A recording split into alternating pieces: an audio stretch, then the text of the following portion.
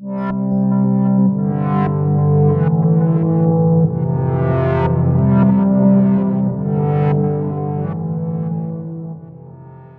hello. I'm Bretton, one of our MCAT tutors here at Inspira Advantage, where we help students get to med school and other professional programs. Today, we are going to be talking about one of the most important senses for you to understand on the MCAT. This high yield topic spans both the bio-biochem and chem phys sections.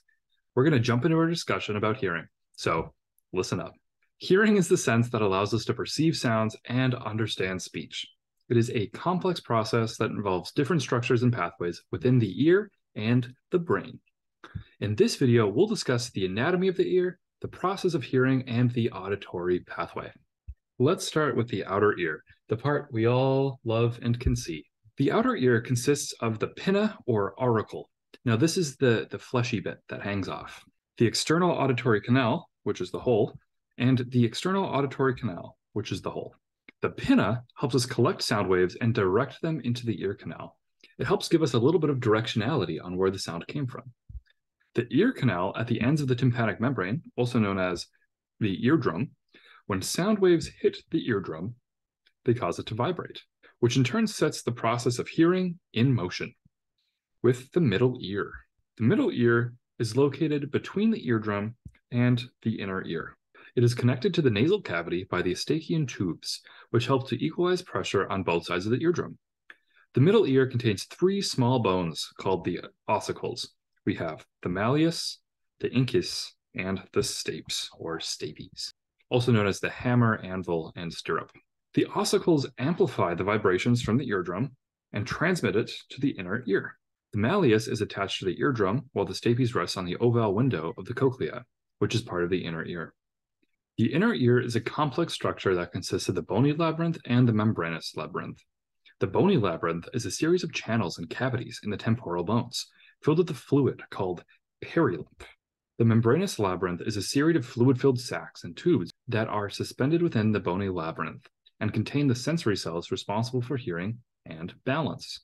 The cochlea is part of the membranous labyrinth and is the primary structure responsible for hearing.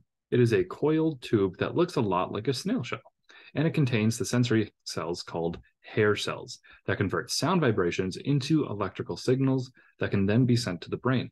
Well, how? What's the pathway? The MCAT loves asking auditory pathway problems.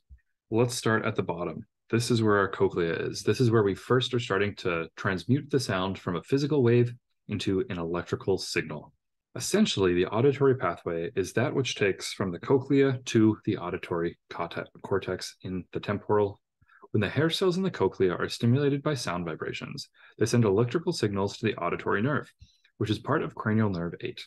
The auditory nerve carries the signals to the brainstem, specifically to the cochlear nucleus, which is first the first processing center for auditory information. From there, the signal is going to move to the superior olivary nucleus, superior olive, which is responsible for localizing the sound in space. Where is the sound? The signals will then move up to the inferior colliculus, which is involved with the startle reflex. This is very, very key. You want to make sure this is in your Anki notes if it is not already. The signals will then move on up to the medial geniculate nucleus, also known as the medial geniculate body, depending on who's asking.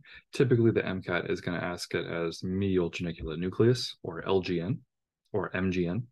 And from our medial geniculate nucleus, we are finally going to move up to the auditory cortex, where sound is going to begin to actually be processed and interpreted.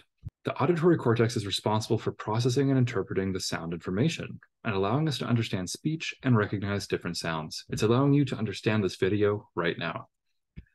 The anatomy of the ear and process of hearing, as well as the auditory pathway, are all important concepts to understand when learning about the sense of hearing for the MCAT. Thank you so much for watching our video on audition, and I will see you next time.